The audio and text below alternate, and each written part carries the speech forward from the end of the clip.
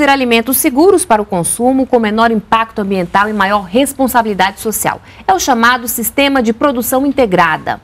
Como ele funciona na prática? Quais as vantagens? Sobre o assunto, vamos conversar no NBR Entrevista com Rosilene Ferreira Souto. Ela é coordenadora de produção integrada da cadeia agrícola do Ministério da Agricultura.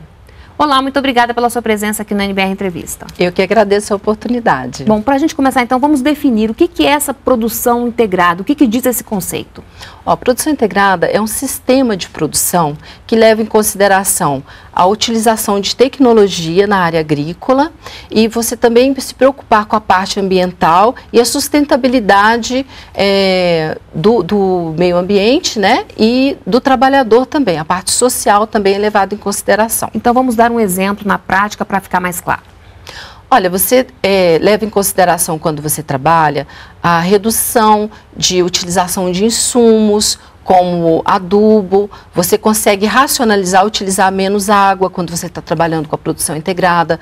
E com a tecnologia você consegue reduzir uma série de é, é, elementos de de utilização na agricultura que poderiam causar algum problema ambiental. E quando você fala da parte trabalhista, você também leva em consideração a, a parte de registro dos trabalhadores, se não tem mão de obras de crianças, infantil, né, ou, ou trabalho escravo, que é uma coisa que é complicado. Então, assim, toda essa parte você leva em consideração quando trabalha com o sistema de produção integrada. E essa produção integrada, esse sistema dispensa a utilização de agrotóxicos?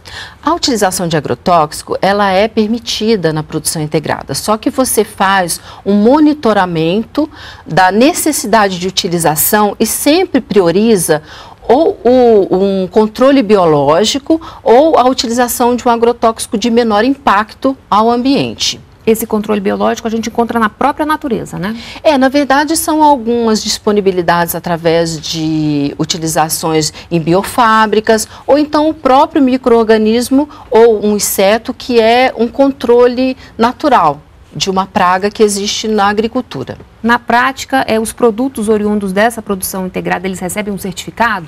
Isso. A gente tem uma certificação ao longo da cadeia, quando o produtor consegue se adequar ao processo produtivo, ele tem uma certificação que garante toda a rastreabilidade do processo produtivo que foi executado em toda a cadeia produtiva. É um selo que o Ministério da Agricultura, junto com o Imetro, ele dá a garantia que o produtor fez todos os sistemas que são recomendados.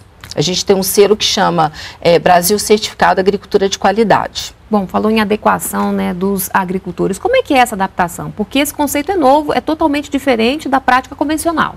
Isso. Para você começar a se adequar ao sistema de produção integrada, normalmente a gente utiliza de unidades demonstrativas que são desenvolvidas dentro da propriedade. Então, o produtor ele tem uma área convencional onde ele faz todo o sistema que ele está acostumado na propriedade dele. E dentro de uma área demonstrativa um pouco menor, você tem a possibilidade de introduzir toda a tecnologia da produção integrada e o produtor ele vai acompanhando ao longo do tempo as vantagens da utilização e com isso ele vai adequando a propriedade dele aos poucos. É uma forma que você tem de convencimento dele utilizar todo o sistema sem ter uma, uma obrigatoriedade, ele vai aos poucos entendendo como é o processo da produção integrada. E esse processo dá para se aplicar em qualquer tipo de, de cultivo, enfim, em qualquer fruta, tipo verdura. de cultivo e em qualquer tamanho de propriedade. A gente tem pequenos, médios e grandes produtores que se adequam perfeitamente ao sistema fazendo um mapeamento aí pelo país, esse sistema já está funcionando em, que estados, enfim? Olha, diversos estados brasileiros a gente já tem iniciativa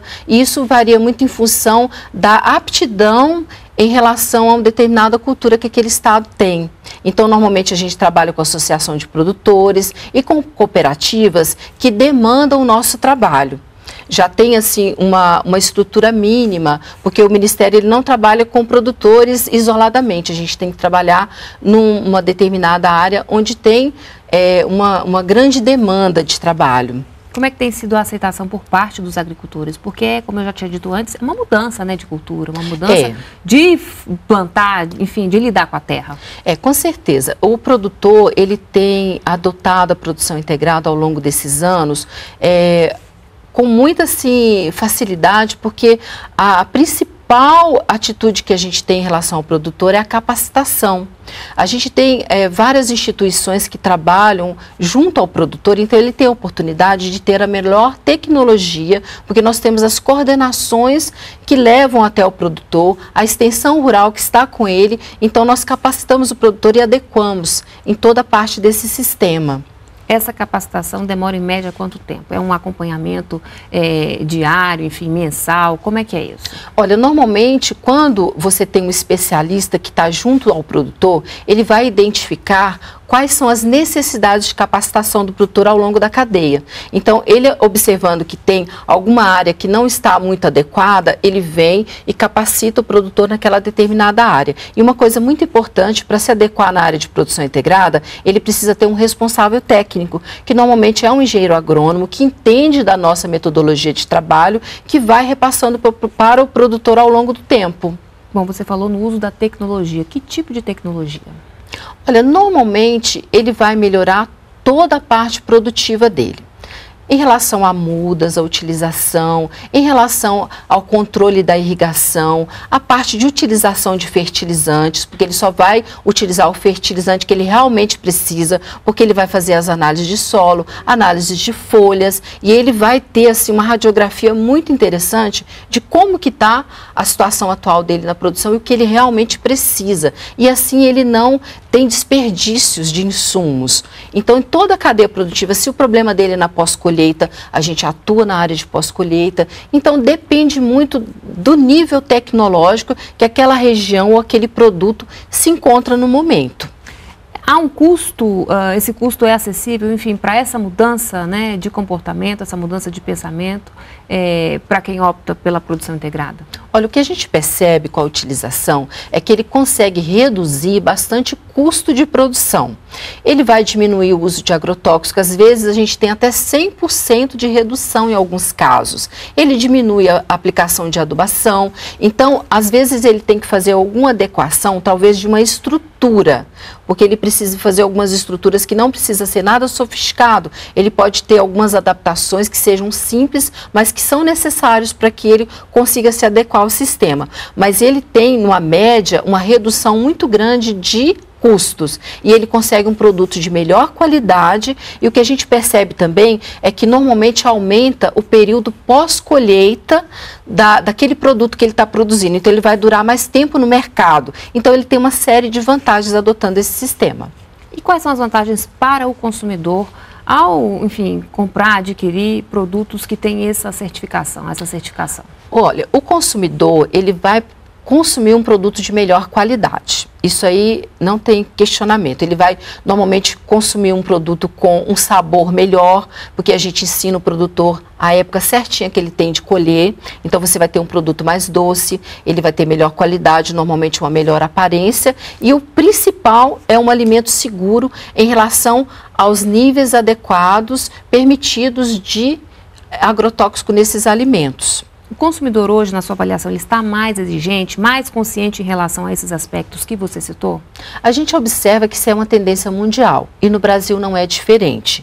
É, a gente tem essa expectativa que com uma é, divulgação maior do que a gente está trabalhando, o, produtor, o consumidor ele vai exigir esse produto quando ele conhecer. Bom, vamos falar um pouquinho dessa certificação, né? Uma vez que o produtor conseguiu essa certificação, ela é, é ilimitada ou ele tem que renovar? Não, normalmente ele tem que fazer um acompanhamento, ele sofre uma auditoria de uma certificadora, que a gente chama de terceira parte, que é uma certificadora que não está envolvido nem na adequação do produtor, e aí ela vai fazer uma checagem através de uma auditoria do que, que o produtor fez, se ele seguiu todas as regras. Porque para a utilização da produção integrada são construídas normas, que a gente chama de norma técnica específica. Essas normas são publicadas no Diário Oficial da União. Ela é conhecida de todos os produtores que ele quiser utilizar, mas tem um controle, um sistema de controle que é feito através das auditorias das certificadoras. Essas certificadoras não são ligadas ao Ministério da Agricultura? Não, elas são de terceira parte que a gente chama, são empresas que são acreditadas no Imetro e através da, do Imetro, que é o que reconhece todo esse sistema de certificação, ela faz a avaliação no produtor. Como é que tem sido a demanda, né? A, a, demanda por essa certificação? Tem crescido? Olha, o que a gente tem observado é que a gente tem um interesse muito grande que o produtor se adeque ao sistema. Mas a certificação, ela, como tem um custo adicional, porque para você certificar você tem um custo, ela vai depender muito para poder aumentar do consumidor entender, reconhecer e exigir o nosso produto. Quantos produtos hoje, enfim, têm essa certificação, esse selo? Olha, nós temos hoje 16 normas de produção integrada de frutas, o que nos permite é, certificar em torno de umas 20 espécies frutíferas e recentemente foi publicada a norma do café e da batata. E temos diversas normas que a gente tá, está trabalhando que virão é, aumentar esse nosso escopo de produtos que tem possibilidade de certificação. Então essa lista certamente vai crescer aí? Vai. Nós temos trabalhado com muitos produtos e a nossa intenção é aumentar e ter uma gama de produtos que são os que nós consumimos no dia a dia aqui no Brasil. Agora, quais são as orientações é, para o consumidor, né, que gosta desse produto, enfim, o que, que ele tem que observar na hora de comprar, na hora de, de adquirir um produto é, que tem esse selo, enfim, que tem todo esse histórico de preocupação com o meio ambiente, preocupação, responsabilidade social, enfim, o que, que o consumidor deve observar na hora de ir à feira, na hora de ir ao mercado?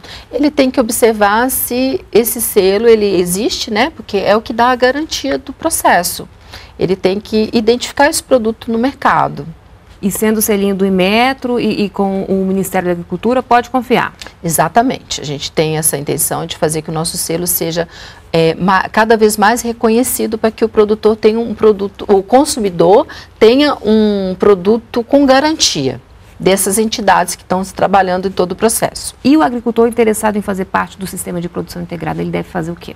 Olha, normalmente ele tem que procurar ou a associação de produtores, ou a cooperativa, ou então a entidade que trabalha com a gente na adequação, que normalmente são empresas de pesquisa estaduais, federais, universidades e, e é, alguma instituição que esteja voltada à área de tecnologia, que esteja mais próxima dele. Ou então procurar o próprio Ministério da Agricultura, que nós temos um site onde todas as informações do nosso trabalho estão disponíveis para qualquer produtor ou consumidor que quiser conhecer um pouco mais do nosso trabalho. Tá certo, Rosilene, muito obrigada pelas explicações e até uma próxima oportunidade. Obrigada, eu que agradeço.